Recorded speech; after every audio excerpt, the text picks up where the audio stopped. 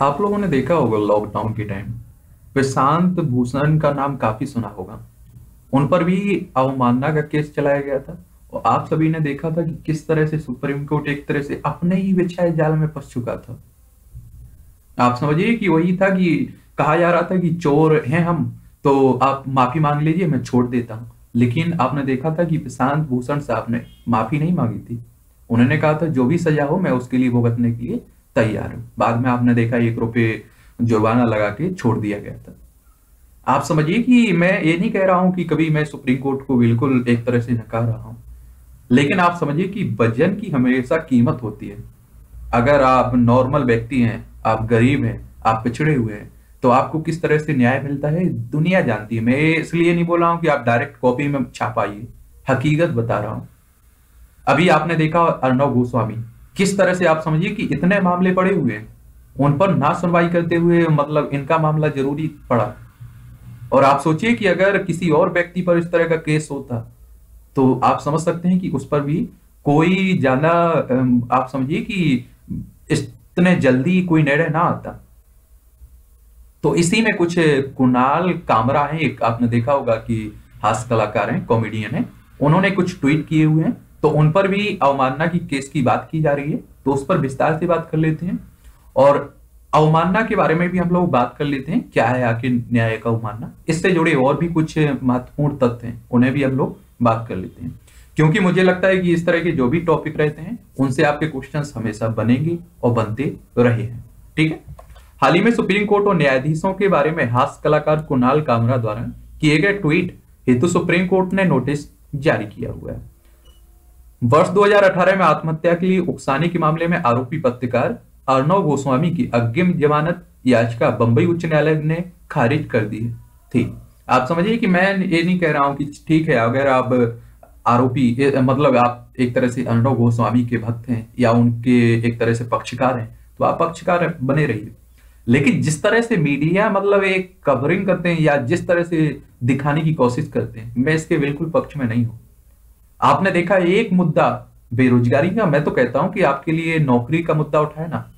आपकी जो भी गरीबी की बात है, या आप समझ सकते हैं कि लॉकडाउन में किस तरह से लोग मतलब त्रासदी झेलिए। उस मुद्दे को उठाया जाए ना। आप समझे कि आपने देखा है लॉकडाउन में पूरे लॉकडाउन पर एक केस उठाया आपने और पूरा चलाते रहे। लास्ट में उसका निष्कर्ष क्या निकला? ज़ीरो वही हाल है कि आप दीवार पर प्रेशर लगा रहे हैं और लगाए जा रहे हैं, लगाए जा रहे हैं। सुबह से उठ जाते हैं और दिन भर आप उसी पर ढकेल रहे हैं। वो पीछे से थोड़ी ढकेलेगी। तो आपने यही किया है इन्होंने। आप समझ रहे हैं? इसलिए मैं बोल रहा हूँ कि आप भक्त बने रहिए। मैं इसलिए बिल्कुल नहीं बोल रहा हूँ कि भक्ति छोड़ दीजिए। कम से कम अपने माँ बाप की भक्ति किया करेगा और अपने रोज़गार जो आपको दे रहा है, स्वास्थ्य व्यवस्थाएँ जो आपको दे रहा है, शिक्षा जो आपको दे रहा है, वही आपके लिए मुझे लगता है भगवान है। बंबई उच्च न्यायालय के निर्णय के खिलाफ अर्णव गोस्वामी ने सुप्रीम कोर्ट में चुनौती दी थी और सुप्रीम कोर्ट ने पत्रकार अर्णव गोस्वामी की अग्रिम जमानत को स्वीकार करते हुए कहा था कि राज्य सरकार को नागरिकों की स्वतंत्रता सुनिश्चित करनी चाहिए। अब सुप्रीम कोर्ट ने बंबई उच्च न्यायालय के निर्णय को पलट दिया है। एक बात और बताऊँगा आप लोगों को कि अभी आपने देखा है किसान आंदोलन चल रहे हैं। तो आपने यहाँ आप व्यक्ति की स्वतंत्रता खत्म हो जाती है आपकी।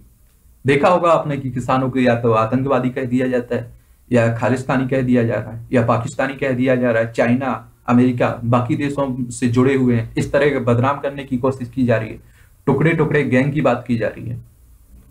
आप समझ सकते हैं कि मतलब मैं अगर आप ताकतवर हैं तो आपकी मदद के लिए हर कोई आपके साथ खड़ा हुआ है।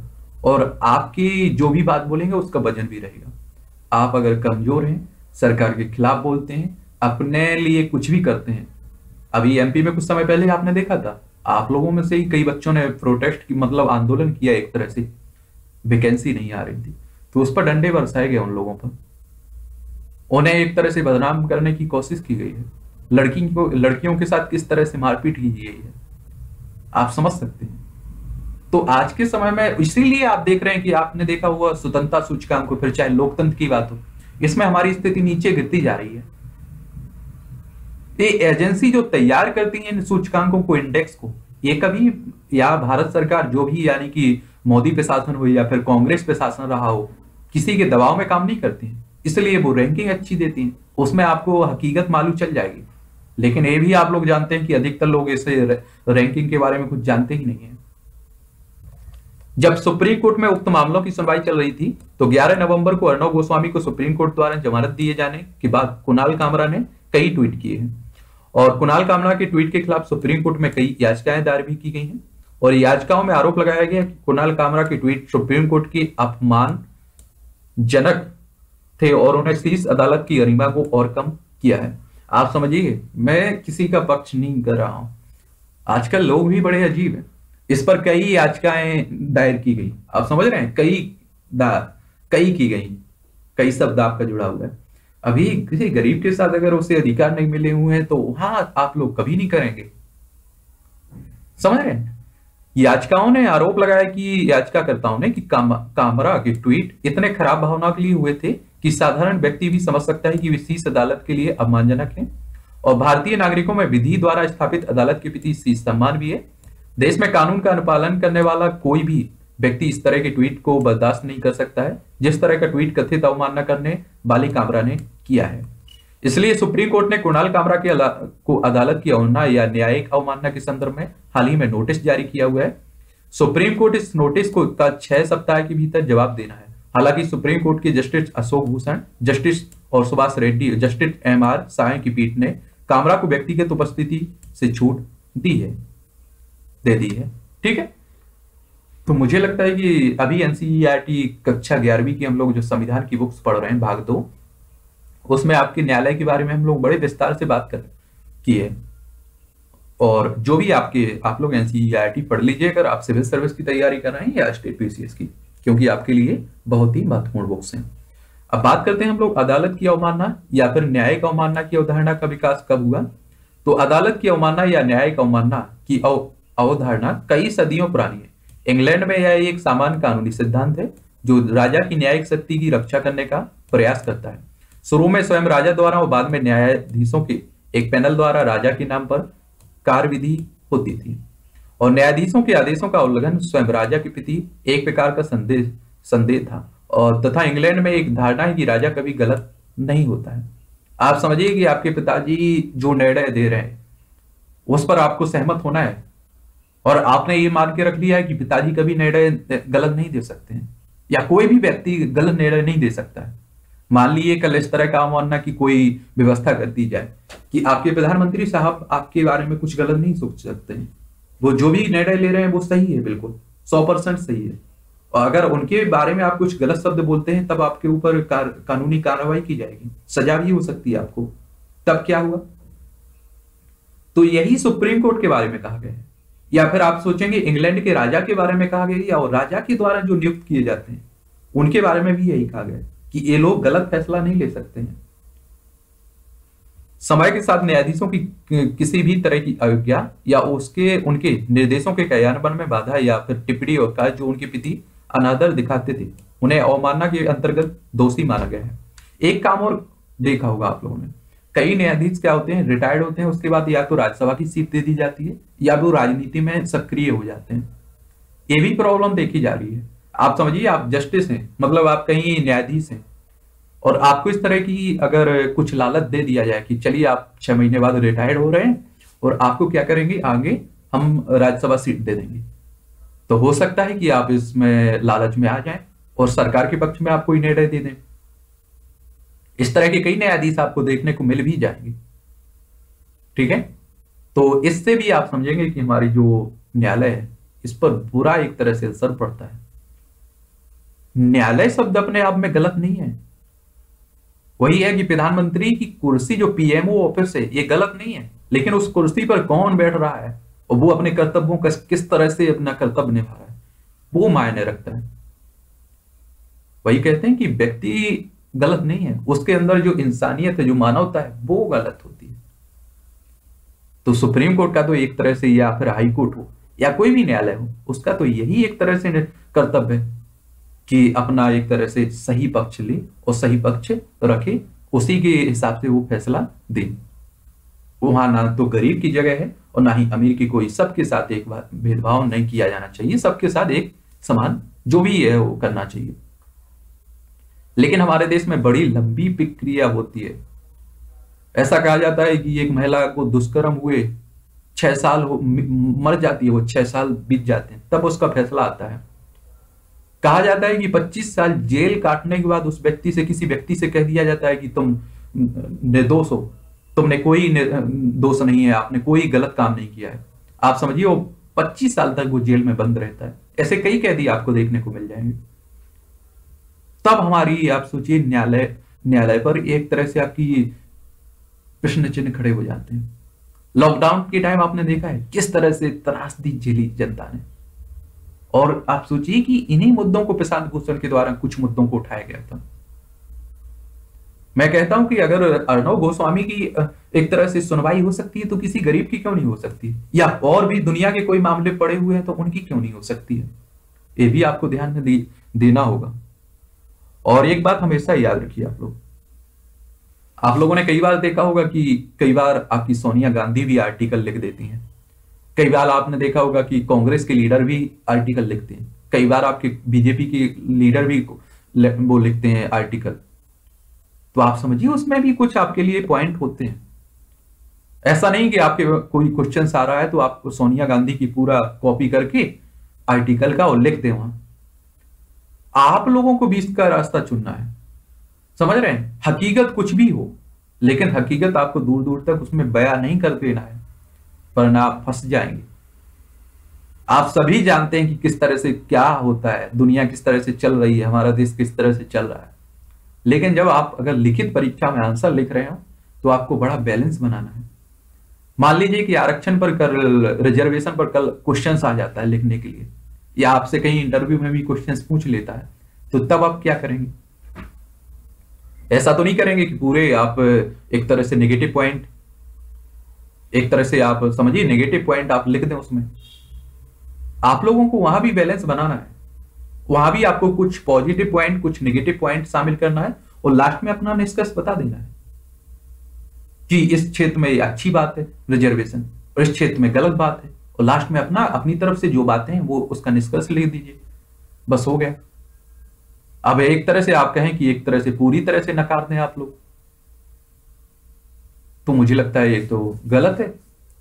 आपसे अगर प्रधानमंत्री के मान लीजिए कि दो तीन काम पूछने के लिए कभी कहीं भी इंटरव्यू में या कहीं कोई पूछ लेता है तो आप तो कहते हैं कि वो कई लोगों को आप सुनते रहते हैं कि प्रधानमंत्री ने कुछ नहीं किया, लेकिन आपको देखने को मिल जाएगा। उज्ज्वला योजना, स्वच्छ भारत अभियान, जनधन खाता योजना, ये कितने अच्छे काम हैं। तो इन्हें गिना तो सकते हैं आप लोग। समझ रहे भारत में अगर बात करें, अदालत की अवमानना या न्यायिक अवमानना की तो भारत में अवमानना के कानून स्वतंत्रता पूर्व से ही विद्यमान है। शुरुआती उच्च न्यायालयों के अलावा कुछ रियासतों की अदालतों में भी ऐसे कानून थे जब संविधान को अपनाया गया है 1950 की बात कर रहा हूँ। आप सभी लोगों को मालूम होना चाहिए कि 26 नवंबर उन्नीस सौ उनचास को कुछ प्रावधानों के साथ संविधान लागू हो चुका था। लेकिन 26 जनवरी 1950 को पूरी तरह से आपका संविधान लागू हुआ है। उसमें प्रदत्त वाक एवं अभिव्यक्ति की स्वतंत्रता की युक्ति युक्त निर्बंधन के रूप में न्यायिक अवमानना को स्थापित किया गया है। ये बात की जा रही है आर्टिकल 19 के तहत, ठीक है? भारत के संविधान में कई अनुच्छेद में न्यायिक अवमानना से संबंधित प्रत्यक्ष या फिर विवक्षित रूप से प्रावधान भी किए गए हैं। न्यायिक अवमानना अधिनियम उन्नीस अवमानना पर दंडित करने के अधिकार को वैधानिक आधार प्रदान किया गया है। बात कर लेते हैं न्यायिक अवमानना अधिनियम उन्नीस क्या है? इससे भी आपका डायरेक्ट क्वेश्चन बन सकता है। और ये काफ़ी चर्चा में है आर्टिकल इसलिए और महत्वपूर्ण हो जाता है। इस कानून के मुताबिक न्यायालय के अवमानना का किसी न्यायालय की गरिमा, उसके अधिकारों के प्रति अनादर प्रदर्शित करना है। Contempt contempt of courts act 1971 को पहली बार साल 2006 में संशोधित किया गया। इस संशोधन में दो बिंदु जोड़ दिए गए, ताकि इसके खिलाफ अवमानना का मामला चलाया जा रहा हो तो सच्चाई और नियत भी ध्यान में रखा जाए। अगर आप समझिए, कोनाल कामरा ने अगर इस तरह की कोई टिप्पणी की है तो कानूनी कार्रवाई होनी चाहिए। लेकिन ऐसा भी नहीं होना चाहिए कि सरकार के दबाव में या किसी एक व्यक्ति के दबाव में आकर गलत ढंग से कार्रवाई हो यह भी गलत बात है। प्रशांत भूषण ने यही कहा था आप लोगों ने कि अग मैं सलाह दे रहा हूँ, मैं सुप्रीम कोर्ट पर कोई उंगली नहीं उठा रहा हूँ, या सुप्रीम कोर्ट के न्यायाधीशों पर मैं कोई उंगली नहीं उठा रहा हूँ उन्हें एक तरह से मैं जगा रहा हूँ नींद से कि मतलब वो गलत दिशा में जा रहे हैं गलत दिशा में काम कर रहे हैं। अगर आप सोचिए कि अगर पिताजी भी गल, कभी गलत दिशा में बोलते हैं कुछ गलत निर्णय लेते हैं तब आपके पास इतना तो अधिकार होना चाहिए कि बोलना चाहिए कि ये गलत काम गलत है। ऐसा नहीं होना चाहिए। अब आप सोचिए पूरी तरह से रोक लगा दी जाए एक तरह से। घर से निकाले निकालने की व्यवस्था हो जाए तब तो मुझे लगता है कि गलत हो जाएगा। और इस कानून में दो तरह के मामले आते हैं। एक तो सबसे बड़ी फौजदारी और फिर दूसरा देखेंगे आप गैर फौजदारी, अर्थात सिविल और क्रिमिनल कंटेम्प्ट आते हैं। सिविल कंटेम्प्ट के तहत ऐसे मामले आते हैं, जिसमें अदालत के किसी व्यवस्था या फैसले या निर्देश का उल्लंघन साफ़ नज़र आता है। वहीं क्रिमिनल कंटेम्प्ट के दायरे में ऐसे मामले आते हैं, जिसमें स्कैंडलाइजिंग दी कोर्ट वाली बात आती है। स्कैंडलाइजिंग जिंग दी कोर्ट का मतलब आप लोगों के बीच कोर्ट की छवि खराब करना है। और इनमें एक यही कहा जा रहा है। आप समझिए कि मतलब आम लोगों का भरोसा है सुप्रीम कोर्ट पर। तो उस पर एक तरह से उसे बदनाम करने की कोशिश की जाती है इसमें।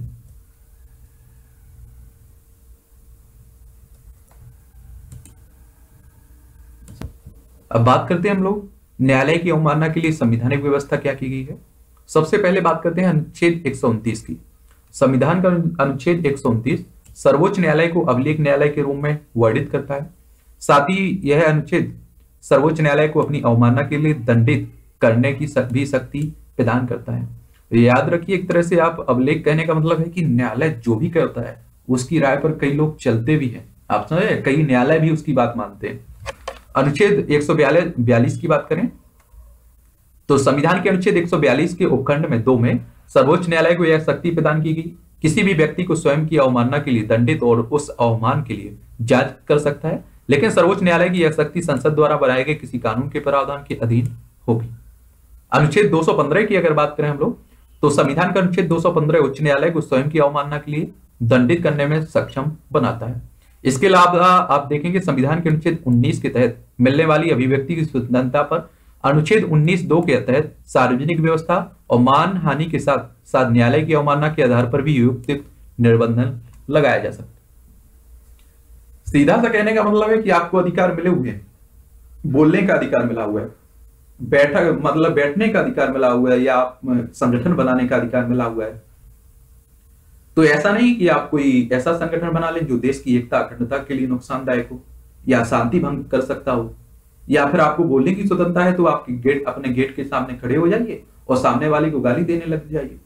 तब आपके अधिकारों पर प्रतिबंध लगाया जाएगा, ठीक है? और आपको दंडित भी किया जाएगा। एक बड़ा अच्छा मतलब मैं देख रहा था इंटरव्यू कहीं आर्टिकल पढ़ रहा था। उसमें कहा गया कि मान लीजिए ऐसा दिन ना देखने मिले भारत को, लेकिन फिर भी मान लीजिए कि हमारे जो भी प्रधानमंत्री, मैं अभी की बात नहीं कर रहा हूँ, कभी की भी हमारा सुप्रीम कोर्ट प्रधानमंत्री की पूरी बात मानने लगे।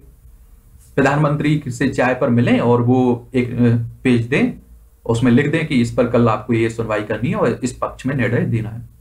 ऐसा अगर दिन आ जाए तो आप समझ सकते हैं कि क्या उस समय भी हमें नहीं बोलना चाहिए सुप्रीम कोर्ट के बारे में कुछ भी। या सुप्रीम कोर्ट के न्यायाधीश के बारे में उस समय भी हमें कुछ नहीं बोलना चाहिए। आप खुद सोच के देख सकते हैं कि अगर ऐसा दिन देखने को मिल जाए, तब तो मुझे लगता है कि लोकतंत्र खत्म है हमारे देश में। और कहीं ना कहीं कमी दिखाई दे रही है। तभी आप देखिए कि इतने इंडेक्स आ रहे हैं, इतने सूचकांक आ रहे हैं, उसमें आपको कहीं ना कहीं आपको गिरती हुई आपकी स्थिति दिखाई दे रही है। अगर सब कुछ अच्छा है तो आपके इंडेक्स में आपकी स्थिति तो अच्छी होनी चाहिए, ऊपर होनी चाहिए। ठीक है? न्यायालयों को अवमानना की शक्ति का उचित की बात करें तो इसका उद्देश्य न्यायालय की गरिमा उसके महत्व को बनाए रखना है। और न्यायालय की अवमानना की शक्ति न्यायालय के आदेशों के क्रियान्वयन को सुनिश्चित करना है।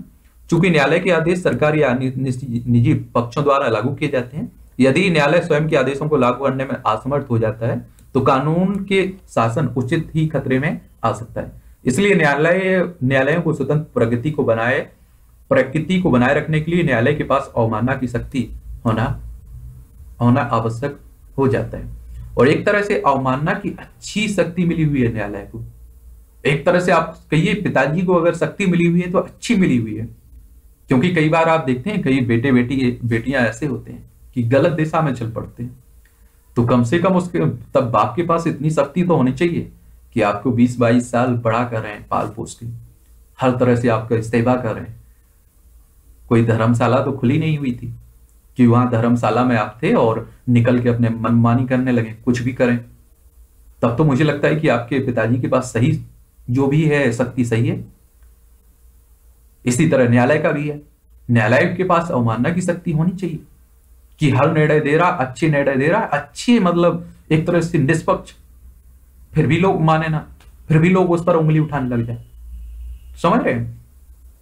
मैं बार बार बोल रहा हूँ कि सबको सभी व्यवस्थाएँ ठीक है। बस निष्पक्ष रूप से काम करें। आपका जो कर्तव्य है वो काम करें ना।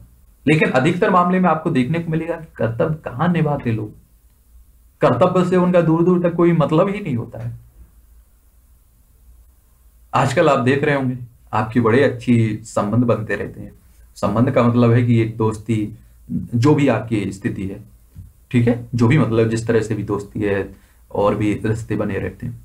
उसमें मान लीजिए आप सामने वाले पर सौ परसेंट भरोसा कर रहे हैं, आँख बंद करके भरोसा कर रहे हैं तो आपका भी तो कर्तव्य बनता है। कि उसके भरोसे को बनाए रखें। ऐसा नहीं कि वो आँख बंद करके भरोसा कर रहा है, अंधा होकर और आप सही में उसे यकीन दिला दें कि हाँ तुम अंधे हो। तब तो एक तुम्हारा गलत है ना? एक तरह से तुम ही गलत करे हो। तो यही देखा जा रहा है, एक तरह से जुड़ा हुआ है। इसलिए न्यायालयों की स्वतंत्र प्रकृति को बनाए रखने के लिए न्यायालय के पास अवमानना की शक्ति होना आवश्यक हो जाता है।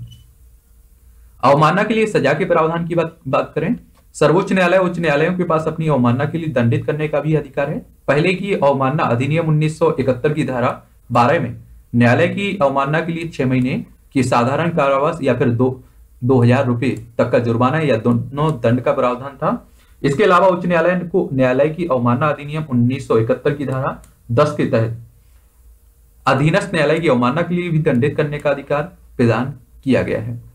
और सर्वोच्च न्यायालय ने उन्नीस में न्यायालयों की अवमानना पर एक निर्णय में कहा था कि सर्वोच्च न्यायालय के पास न केवल स्वयं की अवमानना के लिए, बल्कि उच्च न्यायालय, अधीनस्थ न्यायालय और अन्य न्यायाधिकरण की अवमानना के मामले में भी दंडित करने की शक्ति है। यानी कि आप समझ सकते हैं, सर्वोच्च न्यायालय ऊपर सबसे है तो उसके पास तो शक्ति होनी भी चाहिए।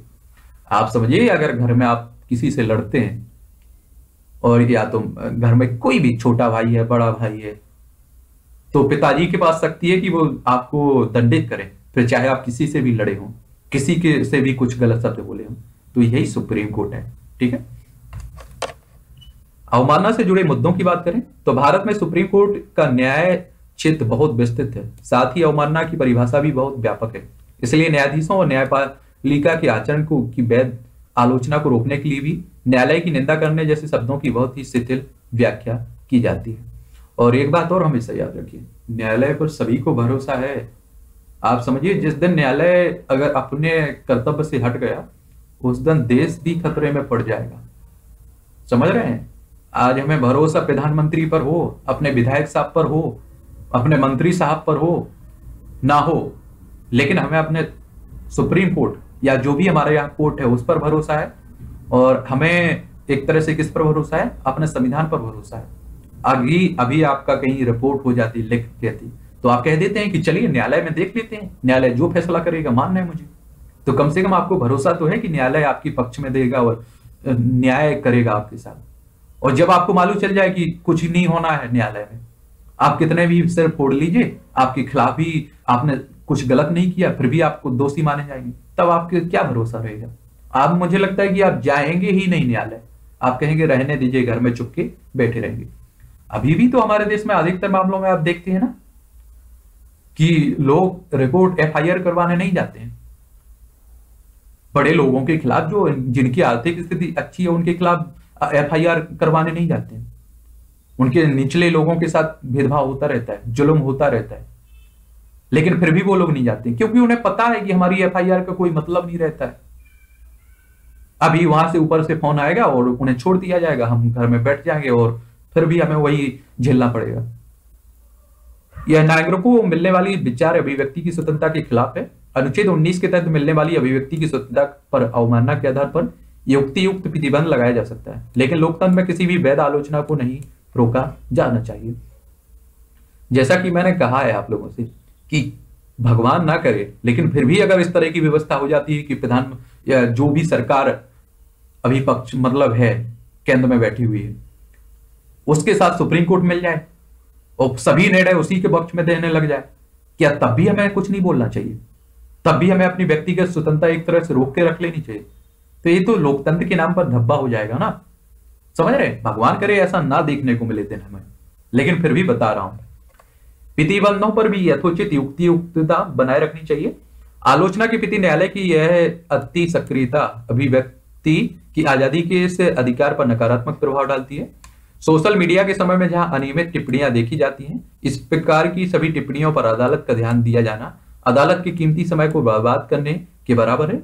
इस प्रकार आपराधिक अवमानना की व्यापक परिभाषा और न्यायालय द्वारा स्वतः संज्ञान लेकर ही की जाने वाली कार्रवाई प्रेस की स्वतंत्रता के साथ साथ न्यायालय की वैध आलोचना पर नकारात्मक प्रभाव डालती है। इस पर विचार करते हुए भारत में अवमानना की चित्त अधिकार में सुधार किए जाने की आवश्यकता है और अन्य देशों में भी न्यायालय की अवमानना के चित्त अधिकार को कम किया गया और इसे समाप्त कर दिया गया आप समझिए कि इसे बिल्कुल समाप्त भी कर दिया गया वही हाल है कि हाथी रास्ते से गुजर रहा है, कुत्ते हज़ार भौंक रहे हैं। आप समझ रहे हैं? आपको क्या मतलब है? अब दुनिया आपसे चिल्ला रही है कि आप कभी सफल नहीं हो सकती। अगर आपकी मेहनत है तो आपकी वो काम आई उसमें कौन रोक देगा आप लोगों को? तो ये भी देख सकते हैं आप लोग। वो कहते हैं ना कि सत्य हमेशा विजयी होता है। अगर आप सत्य के रास्ते पर चल रहे हैं तो कोई आपको सक्सेस होने से नहीं रोक सकता है। अगर सुप्रीम कोर्ट सही है तो कुत्ते क्या भौंक रहे हैं, दो चार लोग क्या कह रहे हैं, इससे कोई मतलब थोड़ी रहता है। अगर आप गलत हैं वो आप पर उंगली उठा रहा है कोई, तब आपको दर्द भी होगा। तो यही कहा जा रहा है कहने का मतलब कि सोशल मीडिया का जमाना है, कुछ, कोई कुछ भी लिख सकता है। आजकल आप फेसबुक पर देखते हैं, कितने कितने मतलब भत्ती कमेंट किए जाते हैं या भत्ती टिप्पणियाँ शेयर कर देते हैं लोग। आप समझ रहे हैं? ट्विटर पर देख सकते हैं आप लोग। अगर सब पर अगर सुप्रीम कोर्ट इस तरह की अवमानना की काम करने लगे तो मुझे लगता है कल जेल भरने की नौबत आ जाएगी। और सभी दुनिया के सभी मामले छोड़कर आपको सुप्रीम कोर्ट इन्हीं कामों में लग जाएगा। तो कहा जा रहा है कि इन्हें, मुझे लगता है कि इन्हें अवॉइड मतलब एक तरह से दूर फेंक देना चाहिए। ब्रिटेन में इसे 2013 में समाप्त कर दिया गया था और कनाडा में न्याय प्रशासन की वो वास्तविक तत्काल और पर्याप्त खतरे के आधार पर भी अवमानना की कार्रवाई की जाती है। अमेरिका में न्यायालयों द्वारा न्यायाधीशों या कानूनों कानूनी मामलों में टिप्पणियों के लिए अवमानना का उपयोग ही नहीं किया जाता है। और याद रखिए इस तरह का अगर कुछ होता है तो मुझे लगता है कि अच्छा प्रावधान है लेकिन उसका दुरुपयोग नहीं होना चाहिए क्योंकि हाल के मामलों में बहुत दुरुपयोग देखा गया। तो यही कहानी है आपकी अवमानना की। इसके बारे में जो भी पॉइंट है बड़े अच्छे से याद रखिए। आप, आपको निष्पक्ष रूप से ध्यान देना है। हम लोगों ने तो बड़े विस्तार से बात कर ली है। विभिन्न पक्षों को देखा है। लेकिन मैं फिर भी कह रहा हूँ कि यही आपको टीप के नहीं लिखाना है। मैंने जो बोला वही ना लिख देना, वरना काम खत्म हो जाएगा। चलिए मिलते हैं, आप लोग पढ़ते रहिए, ठीक है?